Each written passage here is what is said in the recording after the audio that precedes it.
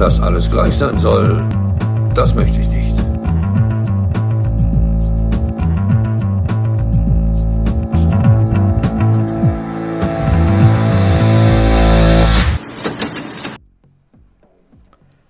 Hallo und wieder mal herzlich willkommen zur dieses Mal äh, fünften Folge der munteren Kategorienbesprechung von gleichsatz.de, die da heißt Hashtag Operation Objektivität. Wie angekündigt, äh, die Nummer 390 als die nächste. Einen Ruf wird niemand als ein Ding bezeichnen, sondern als einen Vorgang, ist das Zitat eines gewissen Friedrich Weismann, der welcher Schule zuzuordnen. Ich denke Neopositivismus oder so irgendwas in der Richtung. Ist aber egal.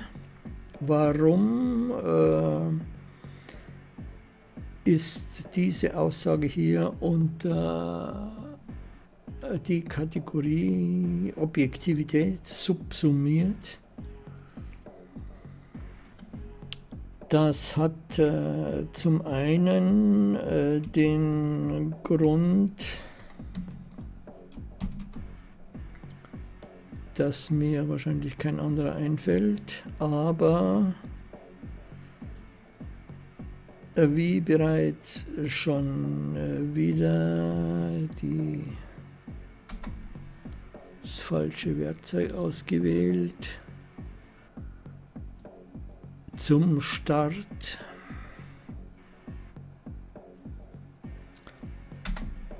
Ich hoffe, mein Publikum entschuldigt diese technische Fehlleistung.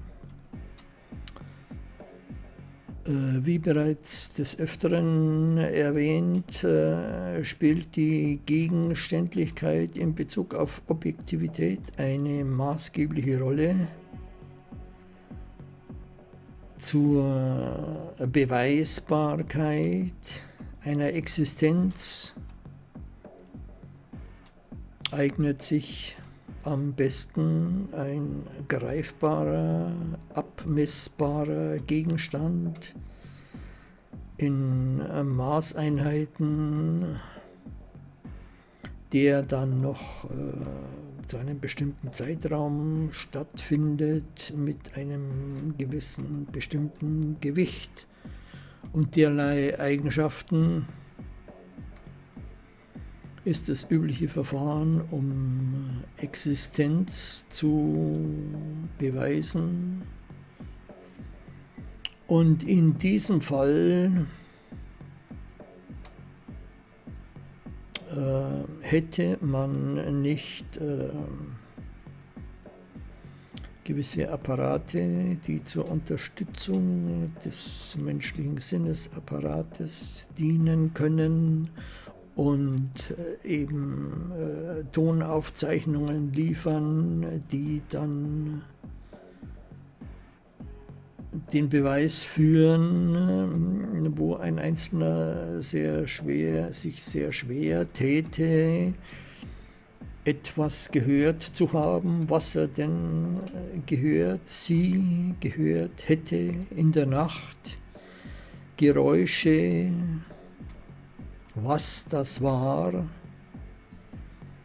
gibt es dann die unterschiedlichsten Meinungen. Die Frau ängstlich, klassisch ängstlich, um Sicherheit bemüht, will den Mann dazu bringen, nachzusehen, dieser um seines Schlafes bemüht, hat das Interesse weiter zu schlafen und so wird einmal ein harmloses Geräusch und dann wieder ein beängstigendes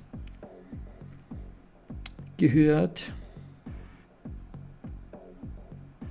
Und schon ist die Objektivität ein Streitpunkt.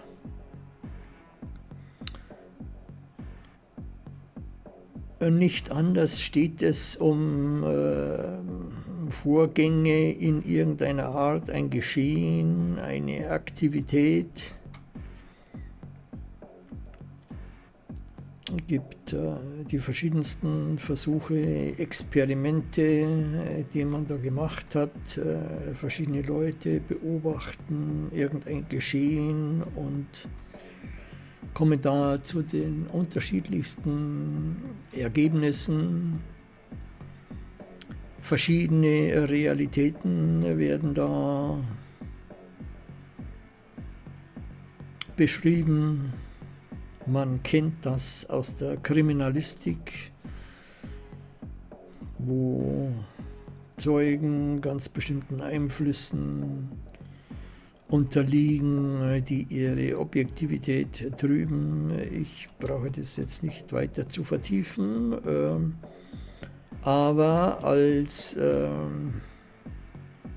Untermalung des äh, Gegenstandsfaktors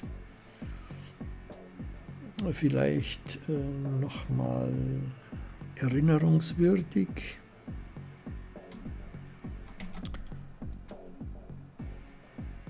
Ich schreite zum nächsten Punkt, die Nummer 240.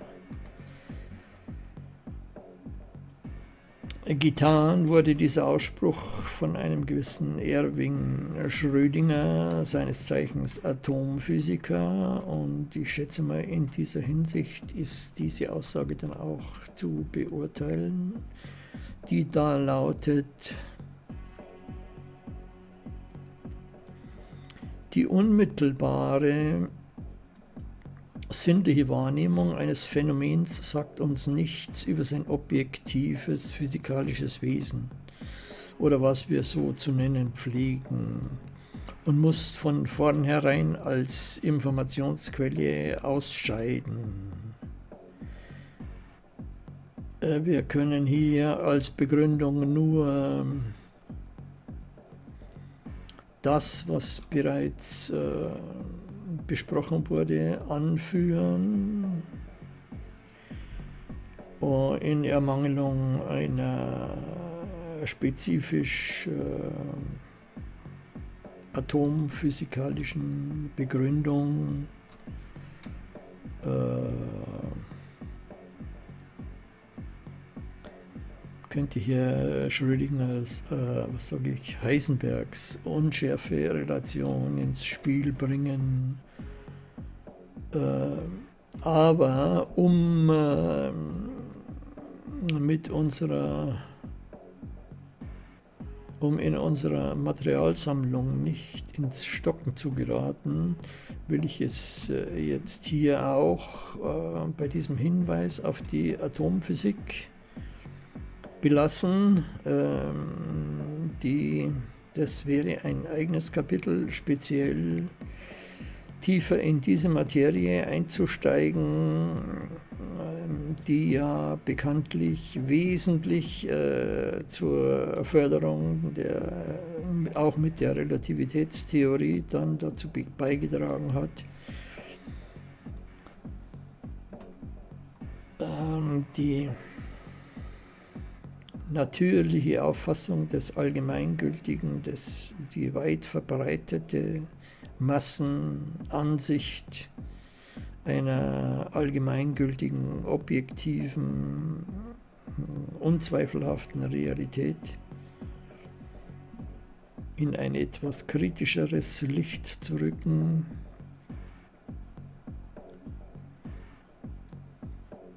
Dann auch die Kausalität als Standbein, sage ich mal, des Objektiven schwer unter Beschuss gerät, um ein weiteres Bild zu gebrauchen.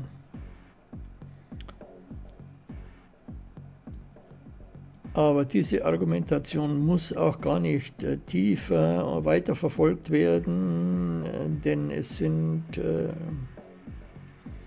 sehr viel einfachere Gründe, vorhanden, um äh, den Glauben, den Aberglauben an die Objektivität. Jetzt äh, lege ich mich schon wieder fest,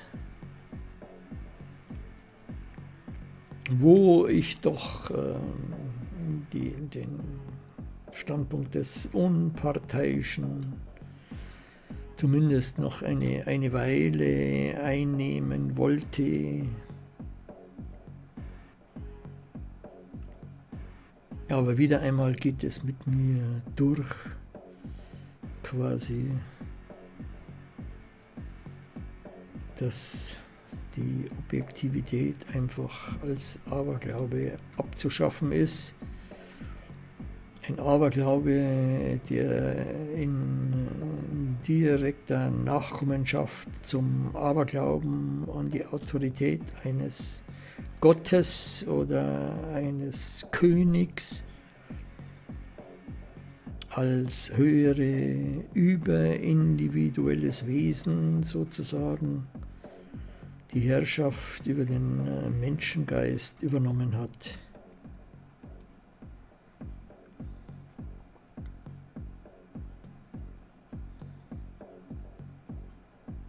Und dass sich äh, einige eingeweihte Geister davon befreit haben und immer mehr befreien, wiegt so gut wie gar nichts in Bezug auf die Massenanschauungen, die in einer Demokratie das gleiche Gewicht haben.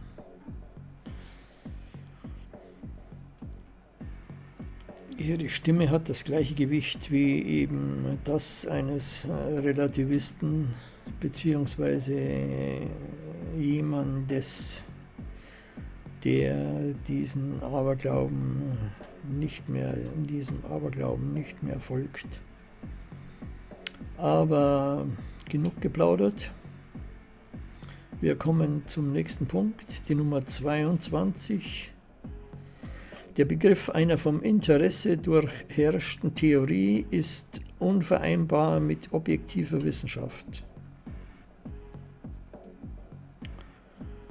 Und äh, worauf hier zu achten ist, äh, ist nicht nur das hehre Ideal der unparteiischen, neutralen Beurteilung, sondern vielmehr das versteckte Interesse im anscheinend objektiven,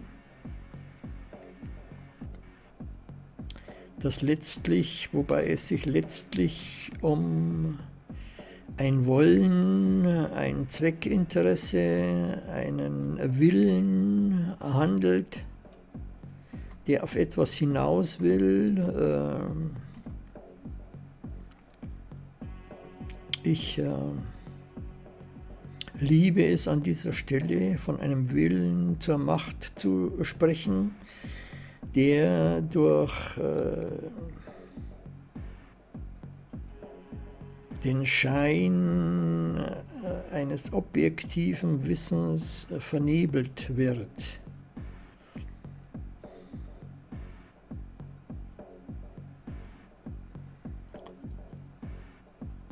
Wir halten fest, dass Interesse in einer Linie mit der Verfolgung eines Zwecks, eines Nutzens als Kontrapunkt äh, zur Objektivität, weil damit ein eine Relativität äh, angesprochen wird, äh, die äh, die Frage nachzieht, äh, sobald es sich um ein Interesse handelt, dann äh, will gewusst werden, wessen Interesse das ist oder was für ein Nutzen das sein soll, für wen. Da ist dann geht es weniger um ein Allgemeininteresse,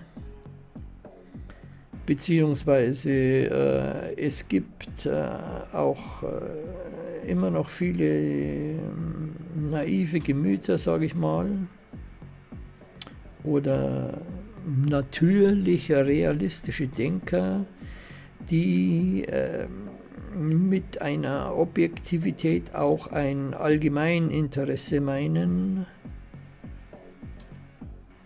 sozusagen das öffentliche Interesse ist ein, äh, wird als objektives bezeichnet. Überhaupt alle Allgemeinheiten, die ein gewisses Maß übersteigen, erhalten dieses Attribut was natürlich keiner genaueren Prüfung standhält, aber das spielt eben an der Oberfläche weniger eine Rolle.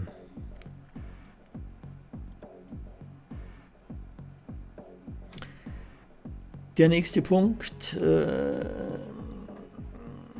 ein Substantiv äh, verknüpft äh, einen, den Begriff der Sachlichkeit mit Objektivität.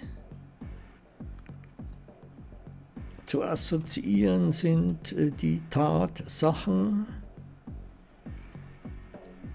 als ein, äh, eine Umschreibung, ein, ein äh, Merkmal des Realitätsbegriffs. zu assoziieren ist eine Nüchternheit, eben eine Sachlichkeit, die frei ist von allen möglichen subjektiven äh, Begleiterscheinungen, wo sich dann besser eine Nacht drüber schlafen lässt, um eventuell äh, ausgewogenere Entscheidungen zu treffen.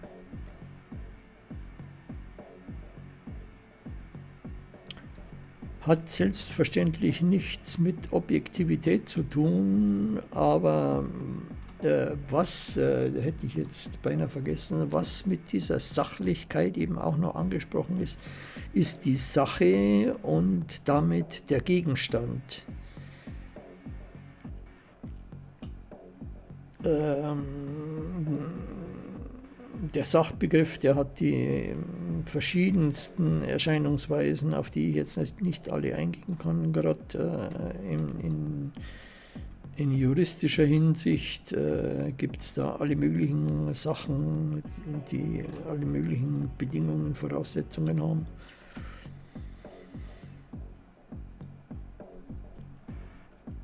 Gut. Also um jetzt das äh, Spektrum immer noch des Objektivitätsbegriffs etwas äh, breiter zu halten, äh, mehr oder weniger als Brainstorming. Äh, wird auch der nächste Punkt äh, besprochen der da heißt, die Nummer 316, Objektivität. Ist die Fähigkeit und der Wille, der Wille, der Action hier geboten, die Fähigkeit und der Wille, das Vermögen, die Wirklichkeit, die nicht ich selber als Erkennender bin, ähm, ein gewisser Herr Fichte, äh, Kantianer würde von einem Nicht-Ich als Substantiv sprechen. Also die Objektivität ist die Fähigkeit und der Wille, die Wirklichkeit, die nicht ich selber als Erkennender bin, so zu erkennen, wie sie für sich selbst. Und das heißt nichts anderes als an sich, abgesehen von jeder Beziehung. Die Beziehung hatten wir auch schon einmal in Form einer Abhängigkeit, Unabhängigkeit vom Sinnesapparat zwischen ihr und mir verhält. Also eine äh, klassische Definition, äh, die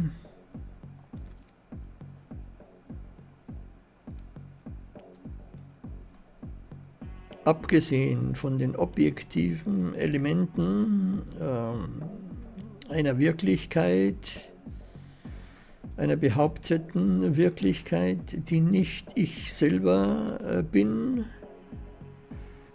das wäre das zweite äh, allgemeine Element. Eine Fähigkeit und in dieser Fähigkeit äh, klingt schon äh, Relatives an, weil äh, zu etwas Fähigkeit, fähig sein ähm, ist in erster Linie mal ein Subjekt und äh, solche Subjekte ähm, haben die sind unterschiedlich fähig, sage ich mal, sind unterschiedlich ausgebildet und in, in der gleichen Richtung äh,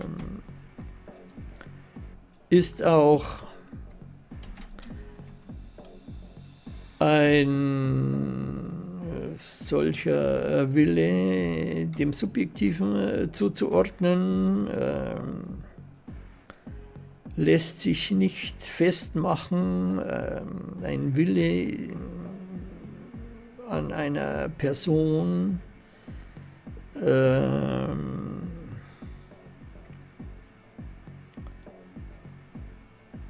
es wird im Grunde genommen, äh, es muss, müsste als objektiver Wille verstanden werden, aber da da wird äh, etwas mit sich selber äh, definiert, was äh, ein logischer Widerspruch, Widerspruch ist.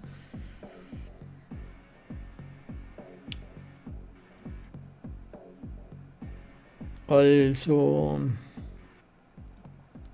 alles in allem äh, eigentlich unmöglich, das ganze Verfahren.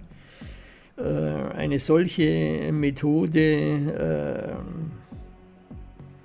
fordert viel mehr Glauben und Hoffnung und Liebe, möchte man sprechen, als äh, dass äh, das alles hier einer strengen Logik äh, standhält. Man muss so etwas in die Abteilung Wunschvorstellung. Der Wunsch ist Vater des Gedankens oder etwas ähm, nicht so polemisch äh, als Idealvorstellung betrachten, die, die, die dann immer äh, unterschiedlich äh, erreicht wird. Und da stellt sich dann bei unterschiedlichen zwei äh, Kandidaten erreichen unterschiedliche äh, Grade der Objektivität. Äh, dann stellt sich die Frage, äh, was ist der Grund dieser Unterschiedlichkeit und schon ist man voll in der Relativität, weil eben diese Fähigkeiten und Subjektivitäten alle relativ zu irgendeinem Gesichtspunkt dann betrachtet werden müssen. So,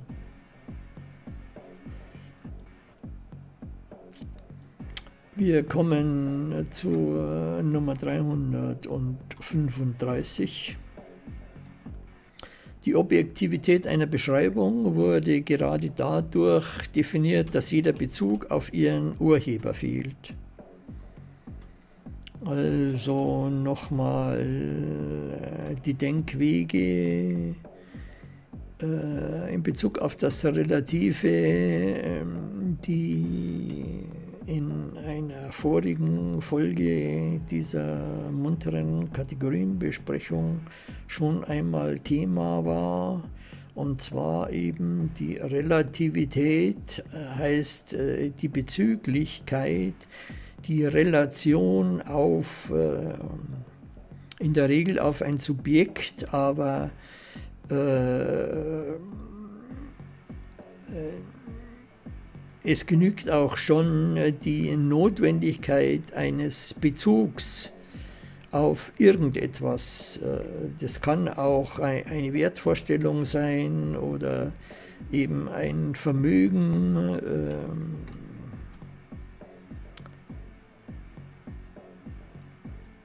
ist der Gedanke der Objektivität schon äh, hinfällig.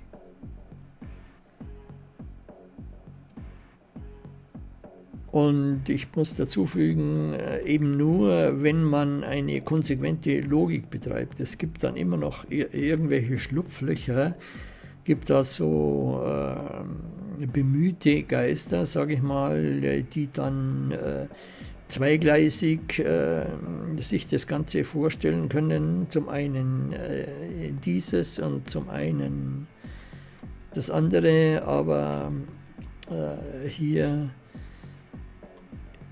in, in Bezug auf äh, die Frage Relativität oder Objektivität, da, da, da, gibt es keine Schleichwege, da ist auch mit einer Dialektik nichts zu wollen. Das ist, das ist so wie ein bisschen tot oder ein bisschen schwanger, das gibt es einfach nicht. Und es gibt auch nicht ein bisschen objektiv.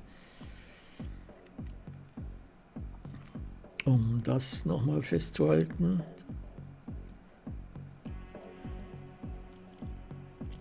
Der nächste Punkt, als da geschrieben steht, mehr als 140 Zeichen, schätze ich mal, mm, ja, schätze ich mal, aber ich bin da nicht so gut im Schätzen was die 140 Zeichen angeht, weil ich da überhaupt keine Übung habe, weil mir das ein Gräueln ist und weil ich mich an sowas auch nicht beteilige. Also, durch Allgemeines, das als Gleichheit oder Ähnlichkeit vorliegt, ist Kontrolle und Objektivität möglich. Das heißt Unabhängigkeit des Ausgesagten vom Aussagenden erreichbar. Zuerst einmal eine Behauptung.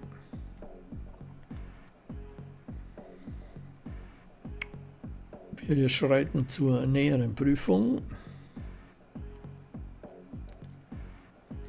Hier wird quasi der Relativierung äh, schon die Relativierung äh, äh, der Relativierung doch schon etwas vorgearbeitet ähm, durch äh, Relativierung, indem eben Allgemeines nicht immer gleich 100% äh, Allgemeines Identisches sein muss, sondern äh, als Allgemeines geht auch schon mal äh, Gleichheit.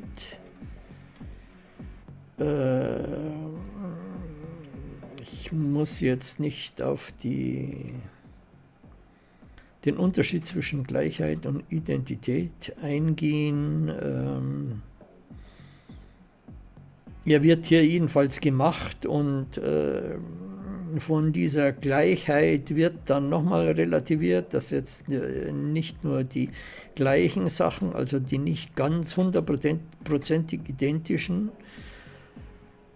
sondern auch äh, das, was ähnlich ist, dann unter Allgemeines geht und, und so glaubt man eben äh, wirklich alles äh, drunter subsumieren zu können, was nur gerade geht. Äh, wenn ich da nur dran denke, was nicht alles ähnlich sein kann, auch wieder relativ zum Gesichtspunkt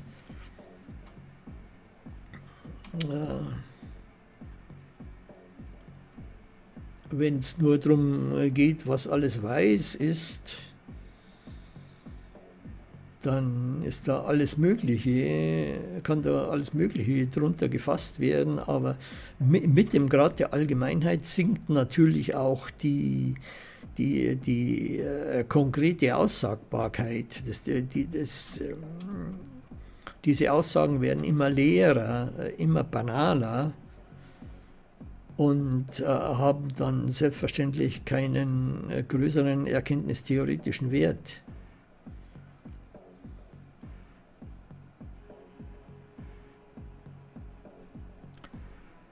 Äh, was hier noch äh, ins Blickfeld kommen sollte, ist eben äh, ein Nutzenaspekt der Objektivität, und zwar die Kontrolle und damit äh, diesen Begriff noch etwas ausgedehnt, dann äh,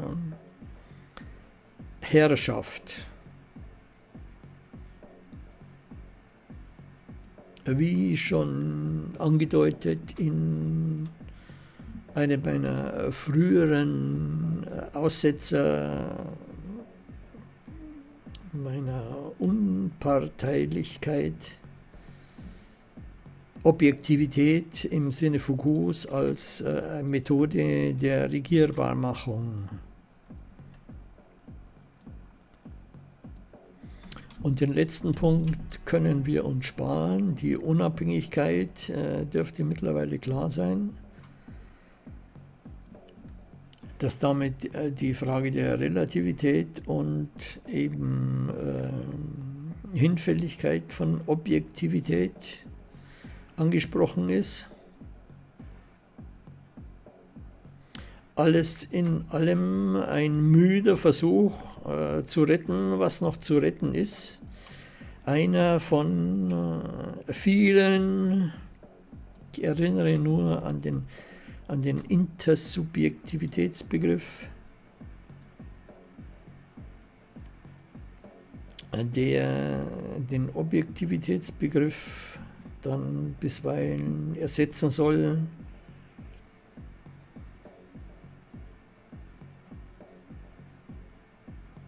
Eine lächerliche Farce, wenn Sie mich fragen.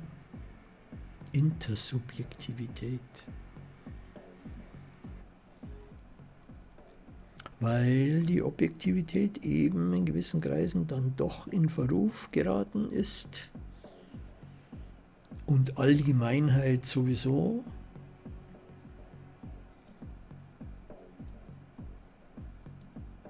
Dann gewinnt plötzlich die Nummer 8 eine goldene Gans und es heißt Intersubjektivität. Okay, weiter geht's mit Nummer 174. Das Seiende, das heißt die Materie, ist eine objektive, also vom erkennbaren Bewusstsein unabhängige Realität. Schon wieder, frage mich nur, was dieses Sein sein soll, wenn kein Auge es sieht, kein keine Nase es riecht, kein Tastsinn es ertastet, äh, kein Ohr es hört und was gibt's noch? Aber egal. Äh, ist immer, solche Behauptungen sind immer dann schwer zu äh, widerlegen, möchte man meinen, wenn einfach äh, jemand etwas behauptet und davon nicht abgeht und auch keinen äh, logischen Gründen zugänglich ist, dann tritt Paragraph 1 in Kraft. Gegen Dummheit ist kein Kraut gewachsen.